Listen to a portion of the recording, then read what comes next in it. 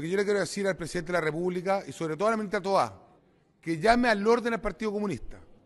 No puede seguir pasando que el Partido Comunista no deja avanzar las cosas importantes, como ir en contra del narcotráfico.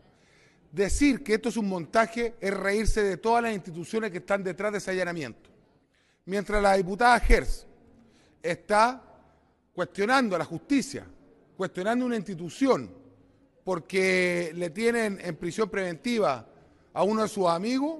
basta, presidente Gabriel Boric, llama al orden al Partido Comunista, llama al orden a todos esos parlamentarios que hoy día confunden la ciudadanía y por favor dedíquese a lo suyo, que es gobernar, dedíquese a buscar maneras de poder aumentar el crecimiento del país, aumentar las oportunidades de trabajo y sobre todo a ir en contra de la delincuencia